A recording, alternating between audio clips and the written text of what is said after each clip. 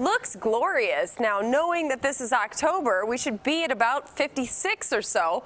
Unfortunately, we're about 20 plus degrees colder than that right now, and we're going to top out well below average. It's 34 from Eugene Wood and Alsip. I have Elton and Schaumburg at around 32. Uh, Chris in Crown Point at 38 and Kennedy Rodriguez and Platteville, our weather watcher there, uh, coming in around that same temperature regime. Let's see where we go from here. Again, you'll want to watch this black box right here. It's got your time on it. It's going to tell you the sky condition, the winds, and obviously the temperature. So from this point forward, we're starting to add a little more cloud cover. You can see it by looking for the gray on this map right here, and you'll see those clouds kind of popping up on that icon as well.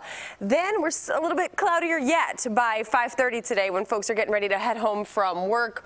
Uh, we got 39 degrees, southwesterly wind at around 12. I talked about the chance for some light rain. Now, this is coming in on this model as all rain.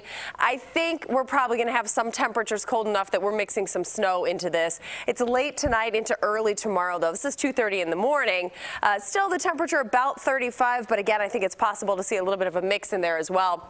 Here we are at 10 o'clock or so Saturday morning, and you may have a few flurries in the mix, but accumulation-wise, this is really kind of a non-event. I'm not expecting this to be any kind of impact weather. You may pick up a tenth or so, just a few little light flurries on a brisk day tomorrow, but rest of today, we're going to settle in around 39, 40 degrees, and then eventually start to drop off here as we see that chance of rain and snow beginning a little bit later on this evening. Your seven-day forecast, I'd like to see some 50s in this, but I have none to give you. The closest we're going to get is probably Monday at around 48 degrees. I think that's going to feel downright warm compared to today, and even that is almost 10 degrees below the norm this time of the year. At least it's not that active of a seven day. We don't have tons of different rain snow chances, but it's still going to be a little difficult.